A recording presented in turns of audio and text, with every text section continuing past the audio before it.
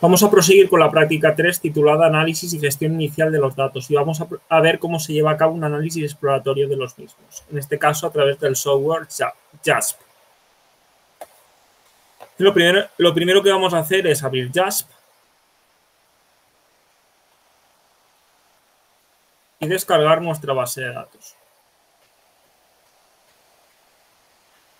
Computer, Browse y aquí pedamos datos 2 en formato CSV. Y nos importará directamente la base de datos. Vamos a trabajar de momento como, como corresponde. Esta es una escala de tipo ordinal en sexo. Es de tipo nominal. Y vamos a filtrar el valor 3, que es una errata.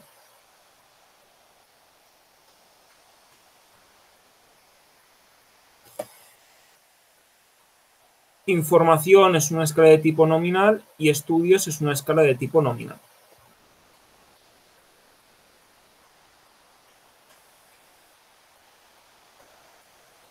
Bien, lo primero que vamos a hacer es apretar en descriptivos.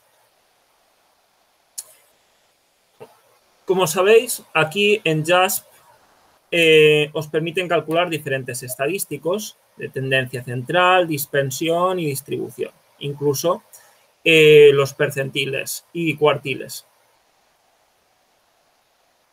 Por defecto te saca en cualquier tabla para cualquier, variable, para, cualquier variable la media, la desviación estándar, el máximo y el mínimo. Además de los valores perdidos y los que, y, los que disponemos. Em, es importante señalar que deberíamos quitar estos valores de aquí. ¿Por qué? Porque podemos tener variables de tipo eh, cualitativas, en cuyo caso la media no tiene ningún sentido calcularla. Lo normal en este tipo de variables es calcular la frecuencia absoluta o relativa, que se calcularía apretando pulsando este botón, lo vemos, o la moda en todo caso. En las variables ordinales tendría sentido pues, calcular las frecuencias absolutas, relativas, la moda, la mediana, cuartiles, percentiles, rango intercuantílico, el rango, el máximo, el mínimo, eso podría llegar a tener sentido. La media, en cambio, eh, la desviación estándar y ya analizar la distribución sería más para variables eh, cuantitativas, en este caso, variables de escala, que se llaman en JASP.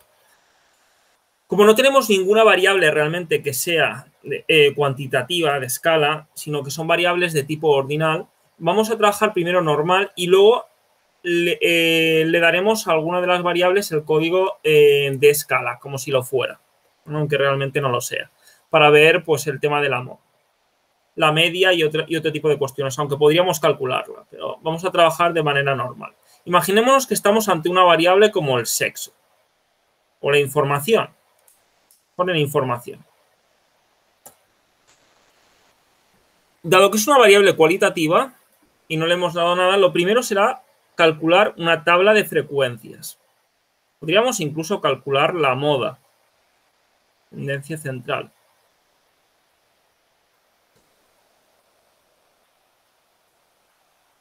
En este caso, pues hay más... Eh,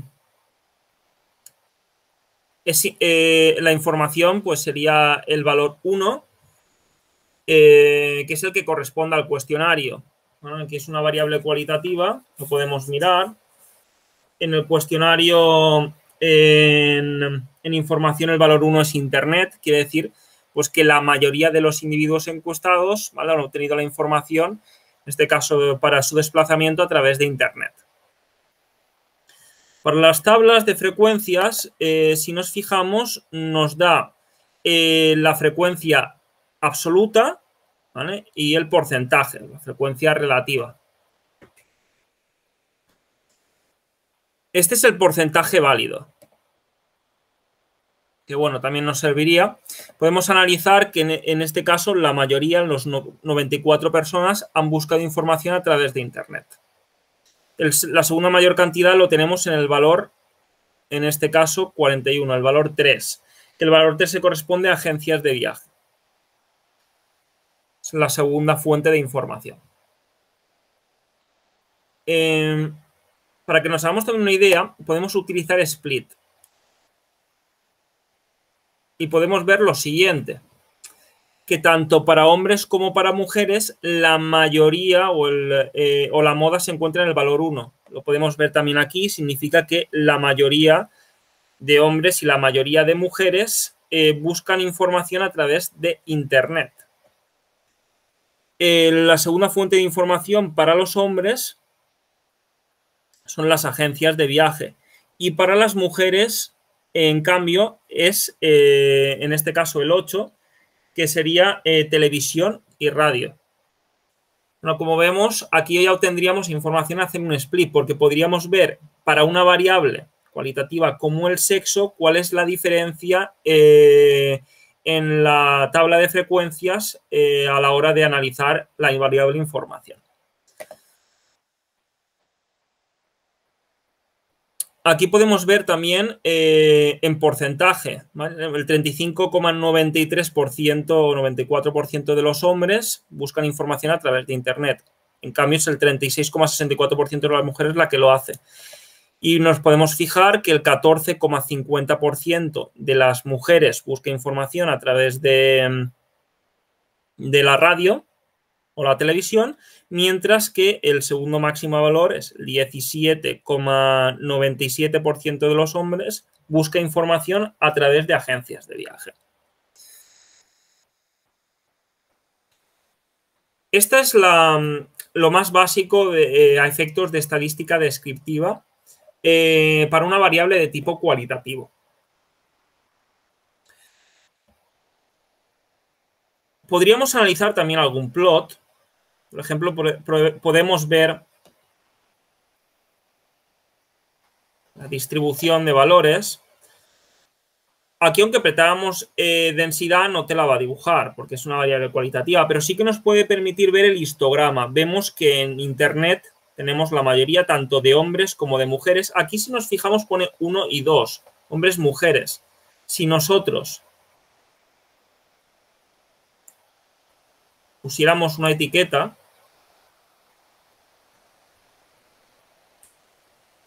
ejemplo la vamos a poner,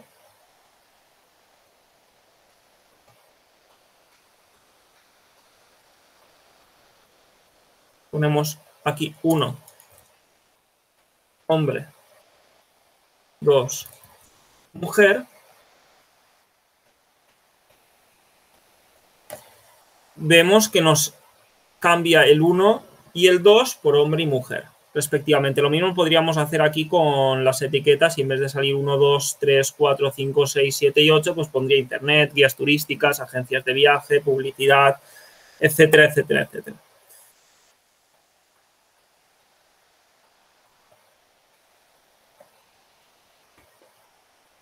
Como veis, esto nos ha permitido una, estadística descriptiva básica para una variable de tipo cualitativa. Ahora vamos a... Las quitamos y vamos a ver una variable de tipo ordinal, como podría ser global. Para la variable global podemos calcular, este caso está formado por eh, una escala de 1 a 7, que va desde muy negativa hasta muy positiva. Realmente uno es muy negativa, eh, negativa, poco negativa, normal, poco positiva, eh, positiva y muy positiva. Tenemos tres valores perdidos, un total de 259 valores. Lo que pasa es que válidos son 256 por esos tres perdidos. Eh, aquí podemos ver la tabla de frecuencias absolutas y relativas. Detectamos que la mayoría de los individuos encostados eh, han contestado esta pregunta eh, dándole un valor de 6, es decir, una imagen, creen que tiene una imagen global positiva. No, ni siquiera. Tenemos aquí el valor de 4, que es normal, que es de 86. Eh, con lo cual la mayoría dice que tiene una imagen global normal. También se aprecia esto aquí en el porcentaje. Evidentemente, normal es la moda, se observa a simple vista. Y tenemos la, distribución. Si pusiéramos eh, o lo quisiéramos ver por sexo, se podría ver. Y en este caso, tendríamos las dos frecuencias. Lo que pasa es que para la mayoría de los hombres eh, han contestado a, la pregunta relativa a la imagen global dando el valor de 4, que significa normal, y la mayoría de las mujeres también. Lo que pasa es que la segunda puntuación más votada por los hombres es una imagen positiva, mientras que la segunda opción más votada por parte de las mujeres es una imagen negativa. Esto se ve también en la tabla de frecuencias, como podéis ver, o en los plots, donde hemos hecho el histograma. Aquí, aunque pusierais que os dibuje la densidad, pasa lo mismo. Como es una variable de tipo ordinal, no nos lo va a dibujar. Podríamos también indicarle pues, que nos calculara eh, variables de tendencia central. Por ejemplo, podríamos buscar que nos calculara la mediana. ¿Dónde la tenemos? que nos dé el mínimo y el máximo. Fijaos que el, el, mínimo es 1 y el máximo valor de la escala es 7. Pero bueno, tampoco dice gran cosa. El rango intercuartílico, que el rango intercuartílico realmente es la diferencia entre el primer, el tercer cuartil y el primer cuartil. Eh, para calcular cuartiles lo tenemos aquí. Concretamente podemos ver eh, la mediana, que la mediana, bueno, es el percentil 50, es el, que tiene un valor de 4, significa que si ordenamos todos los valores, el, 25, el, 50% de los valores eh, son menores que 4. El 25% de los valores, en el caso de los hombres, son menores que 4 también. Y el, eh, y el, eh, y el 25% de los valores, que es el primer cuartil, son menores que 3 en el caso de las mujeres. Y el 75% de los valores, que es el tercer cuartil, son menores que 6 y en cambio para las mujeres son menores que 5. Si os fijáis, si hacemos un análisis, en este caso por hombre-mujer. Podemos ver también el rango, que el rango es la diferencia entre el mínimo y el máximo. El rango intercuartílico es la diferencia entre el primer cuartil, eh, entre el tercer cuartil y el primer cuartil. Si nos fijamos en el tercer cuartil, son 6 menos 4, pues el rango intercuartílico son 2, que mide la dispersión. Y en cambio aquí son 5 menos 3, 2. por eso tenemos 2 calculado en el rango intercuartílico. Podríamos incluso calcular el percentil 25. Y podríamos decir que eh, el, 25% eh, de los encuestados a la, pregunta de la imagen global le asignan un valor, en el caso de los hombres, menor o igual, o sea, menor que 4, mientras que en el caso de las mujeres, menor que 3. Y cualquier percentil, el 86, por ejemplo, si queremos ver el 86% de los encuestados, cualquiera en el caso de, separado por hombres y mujeres, porque estamos haciendo el split.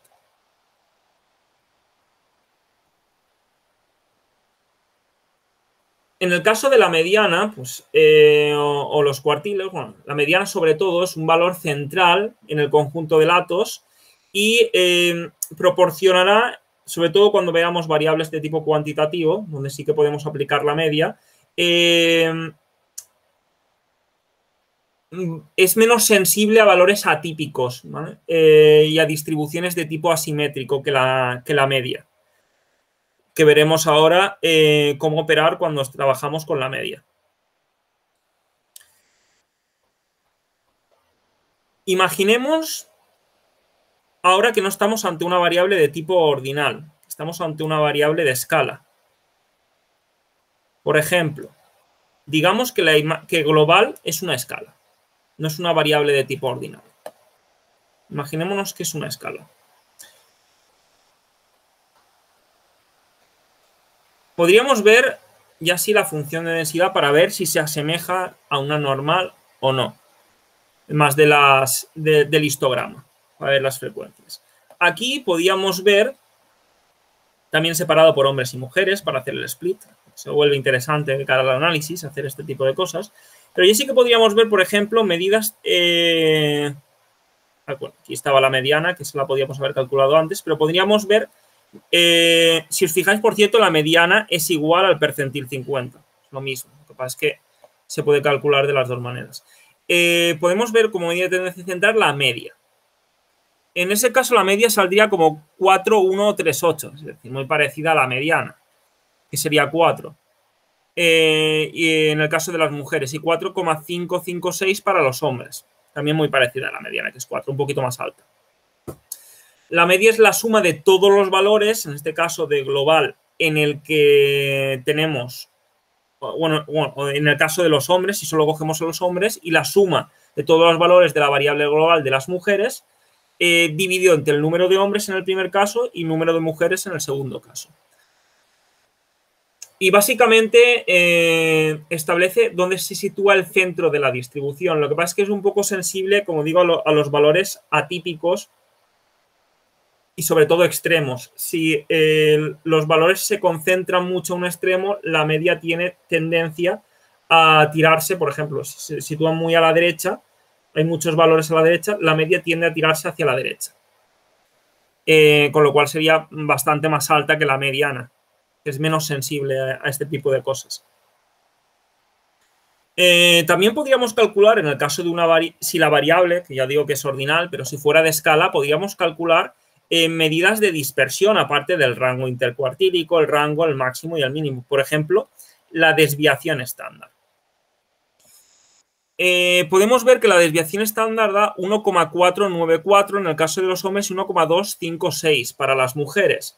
Bueno, la desviación estándar eh, sirve para ver la dispersión de los datos con respecto a la media. ¿Qué queremos decir con esto? Eh, si la desviación estándar es baja, como podría ser en este caso, más pequeña la media, eh, significa que los valores están más cerca de la media. mientras que si es alta, significa que el rango de dispersión es mucho más amplio, con lo cual hay mucha variabilidad, hay mucho rango de dispersión. La varianza, la podríamos calcular simplemente apretando a variance, es la misma, lo que pasa es que elevado al cuadrado, la desviación estándar al cuadrado. Y más o menos la interpretación es parecida. Venimos a decir lo mismo. Luego tenemos también aquí el error estándar de la media, que lo podemos ver aquí, 0,133 y 0,110 el primer caso en el caso de los hombres, el segundo en el caso de las mujeres. El error estándar de la media refleja hasta qué punto se espera que la media obtenida a partir de una muestra difiera de la media real de la población. A medida que aumenta el tamaño de la muestra, disminuye el error estándar de la media en comparación con la desviación estándar que podéis ver. Con lo cual quiere decir que eh, la media eh, de la población se conoce con mayor grado de especificidad, podemos decir. Es decir, eh, cuanto mayor sea el tamaño, más parecida será la media a la de la población, la media que tenemos. Y eso es lo que viene a reflejar. Aquí tenemos, pues, bueno, valores pequeñitos, lo cual está bien. También podemos eh, analizar eh, otro tipo de, bueno, de indicadores, el MAT, también, bueno, esto mide la dispersión y el más robusto para generar más robustez de cara a la estimación de, del MAT, que es la desviación de la mediana. Está muy bien. Es otro tipo de indicador, en este caso menos habitual para la interpretación, aunque también nos lo permite calcular JASP. JASP. Y luego una cosa interesante es eh, en, lo, en, lo, que eh, respecta a la distribución. Podemos ver en primer lugar el coeficiente de asimetría, lo tenemos aquí con skewness. Si la apretamos, y vemos aquí skewness, eh, es negativo en el caso de los hombres y positivo en el caso de las mujeres. Indica que el coeficiente de asimetría sea negativo. Significa que los valores, en este caso, eh, se concentran a la derecha de la distribución es decir, a la derecha de la media. Y la cola se alarga hacia la izquierda. Es como eh, que la moda, ¿vale? Lo vamos a situar a la, derecha de la, de la media. Mientras que en el caso de las mujeres es positivo, con lo cual quiere decir que la moda se sitúa a la izquierda de la, de la media, mientras que eh, la cola, los valores se alargan hacia, eh, en este caso, la derecha significa, si hay coeficiente de asimetría positivo o negativo, pues que es una distribución asimétrica, en cuyo caso no se asemeja a la normal, que es totalmente simétrica en forma de campana. También podemos ver la curtosis. Analizar la normalidad pues es interesante porque siempre eh, muchos de los modelos eh, estadísticos, por ejemplo en el, mínimos cuadrados ordinarios normal, pues uno de los supuestos que se exige es la normalidad. Entonces podemos comprobar si las variables siguen una distribución normal. No solo con el split, si quitamos también lo podemos ver. En este caso, si quitamos el split, vemos que el coeficiente de asimetría es negativo. Lo volvemos a poner. También podemos analizar eh, la curtosis. La curtosis la tenemos aquí abajo. Aquí tenemos, por cierto, la desviación estándar de la simetría. En el caso de la curtosis es negativa en ambos casos. El hecho de que la curtosis sea negativa significa que la distribución es platicúrtica. Es decir, el pico es más achatado que una distribución normal y las colas son más suaves y más cortas. Mientras que si fuera positivo significa que la distribución sea leptocúrtica, tiene un, pico mucho más eh, o, una campana eh, mucho más picuda, con lo cual significa que es más alta eh, que la distribución normal y las colas son mucho más largas y pronunciadas. Eso también indica diferencias con respecto a una distribución normal. Para poder analizar si, la variable sigue una distribución normal, en este caso eh, separando entre hombres y mujeres, podemos calcular el test de Shapiro-Wilk. En caso de R habíamos analizado que existen muchos más test, aquí por defecto, bueno, te da este. Podemos ver el test de Shapiro a muestras grandes, que nos salen que en ambos casos es significativo.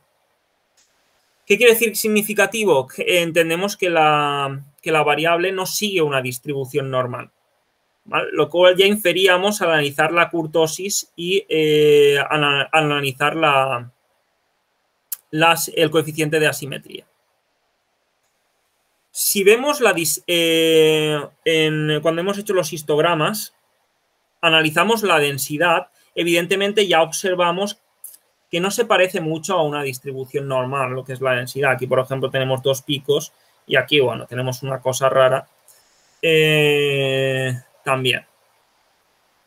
Un poco más asimétrica, no, tiene tanta forma de campana. Evidentemente, parece que esta variable no sigue una distribución normal. La normalidad también lo podríamos observar con un QQ-plot. Pulsaríamos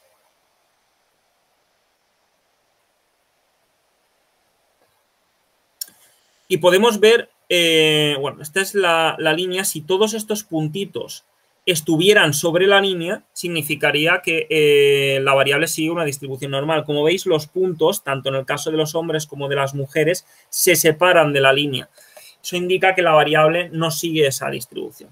Estamos analizando.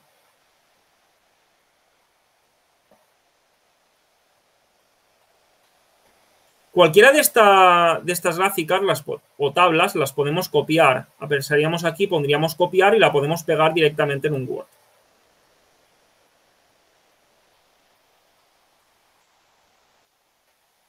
Lo podéis ver. Podemos sacar automáticamente. Lo cual es muy interesante, precisamente para ir sacando los datos que estamos obteniendo. Esto por lo, que respecta a lo que sería una estadística descriptiva básica de una nominal, de una ordinal y de una variable cuantitativa. En caso de que la tuviéramos, que ya no digo, que ya digo que no es el caso de que no es el caso de, de esta base de datos. Para calcular medidas de tendencia central, de dispersión y luego para analizar la distribución. Eh, también podríamos hacer una tabla de contingencia para hacer la tabla de contingencia, nos vendríamos aquí a frecuencias y aquí donde pone tabla eh, contingency tables. Apretaríamos y podríamos hacer una tabla de contingencia. Imaginémonos que hacemos, voy a volver a poner la variable global como si fuera lo que es, ¿vale? Una variable ordinal. Aquí lo que nos sale con el pi directamente, que eso nos lo he enseñado antes, era un gráfico en forma circular donde nos va indicando para cada una de las alternativas de respuesta de esa escala que se sitúa entre 1 y 7, eh, las respuestas, tanto en el caso de los hombres como de las mujeres. Vamos a ver ahora eh, y vamos a analizar los estudios, que ya sabéis que se sitúan entre 1 y 5, y es para sin estudios, enseñanza básica, bachillerato, formación profesional, universitaria y posgrado. Los estudios, por ejemplo, los ponemos en, eh, en las columnas, para que sea una tabla más alargada. Y vamos a poner el sexo en la fila.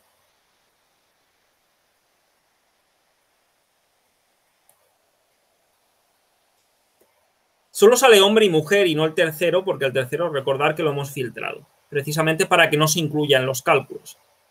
Por eso filtrar es una medida interesante. Bien, eh, podemos ver, en este caso, por defecto,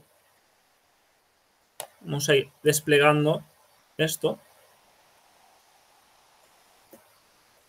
Igual, eh, por defecto nos sale aquí una tabla de contingencia normal y corriente, con las frecuencias absolutas. Es decir, un hombre ha contestado a la pregunta 1 y cinco mujeres eh, ha contestado 1, que era muy negativa a la pregunta, eh, no, a 1. O sea, que uno en el caso de la variable estudios es sin estudios.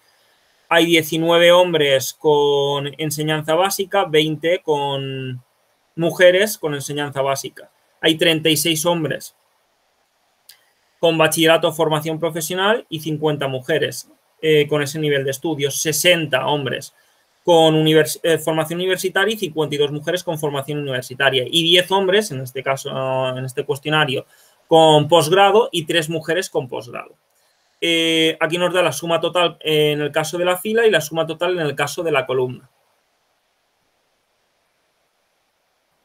Podemos decirnos, decirle aquí que nos dé los porcentajes tanto a nivel de fila como a nivel de columna.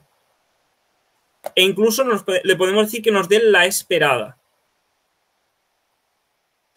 Si nos fijamos, voy a hacer esto un un pelín más grande para que se vea.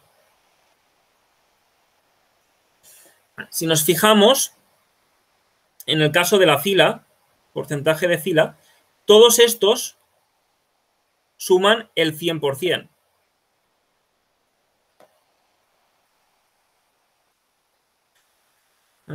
Toda la fila, el 0,794, 15,079, 28,571, 47,619 y 7,937 en el caso de los hombres suman el 100% de los hombres.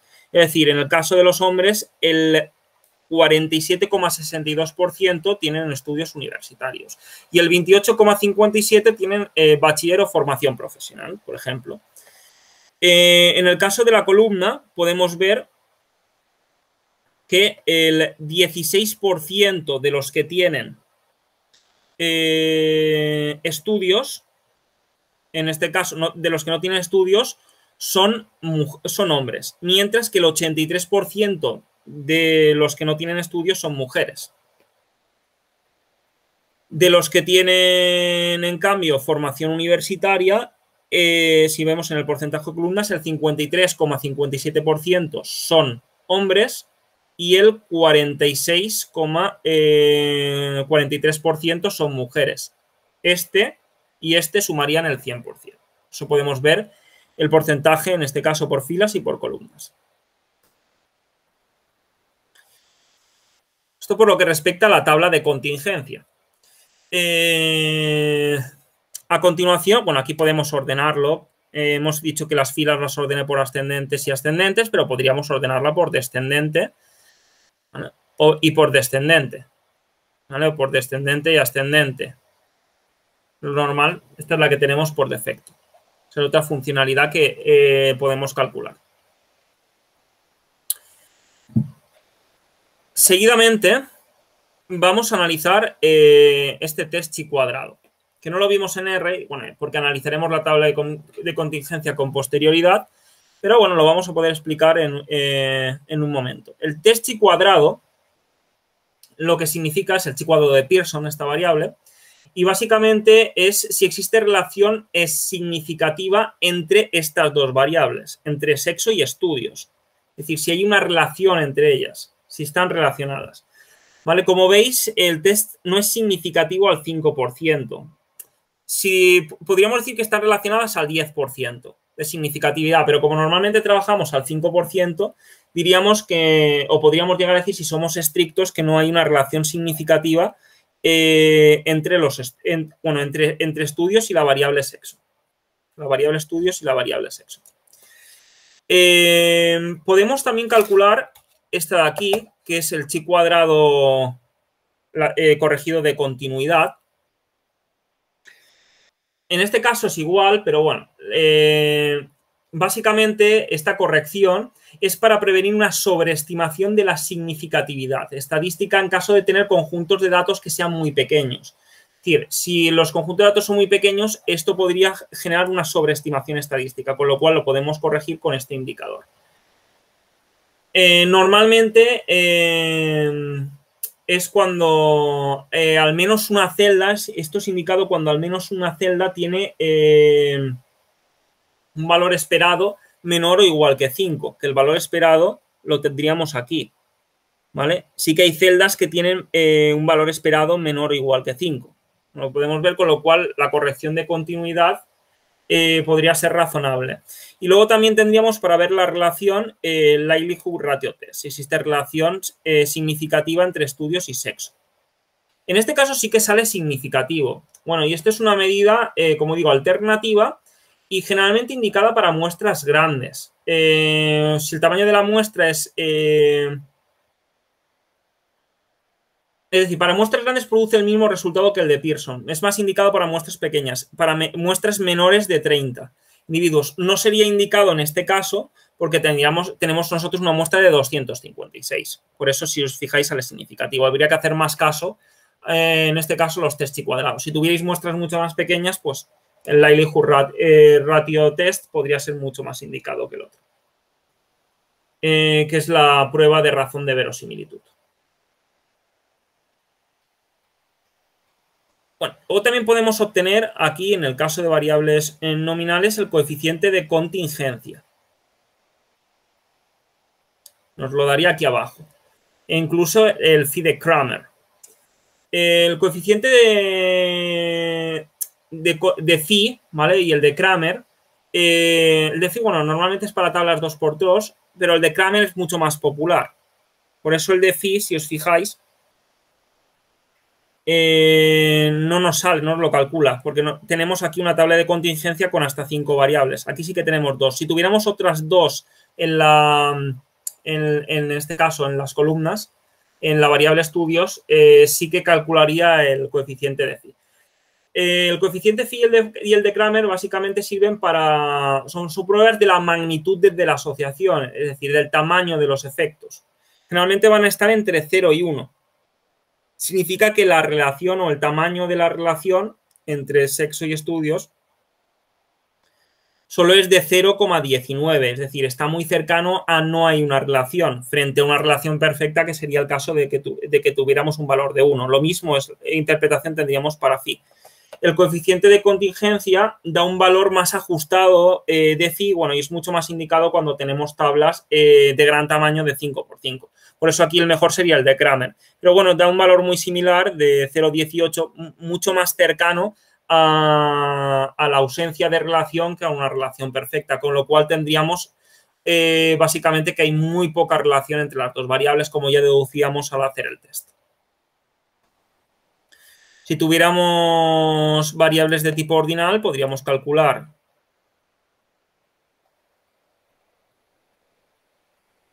En este el ordinal podemos calcular el de Garmal y el, eh, el de Kendall Tau. También.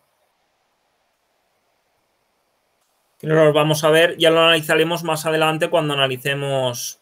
Esto es porque analizan la relación entre variables, por eso los comento.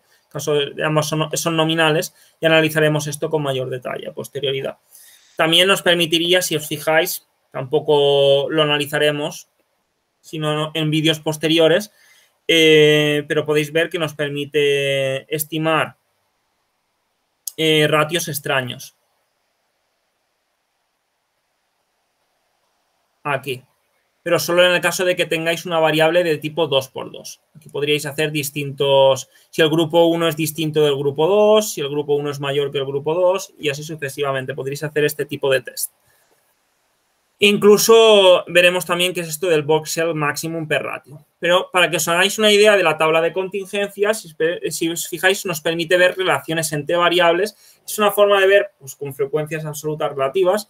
Eh, tanto por, en el caso de fila o columna, pues si existe relación entre una variable y otra variable. Muy utilizada pues para variables, en este caso, nominales, como las que tenemos aquí. Espero que os haya sido de interés este vídeo para hacer un análisis exploratorio inicial. Eh, ya os digo que la tabla de contingencia pues, es más avanzado, es un análisis más detallado porque ya busca analizar la existencia de relación entre dos variables, con lo cual eh, la analizaremos más adelante cuando entremos en un análisis eh, más exhaustivo porque sale un poco de lo que sería un análisis exploratorio variable a variable, analizando pues, la media y la distribución que sigue. Espero que os haya servido el vídeo. Bueno, y esto ha sido todo.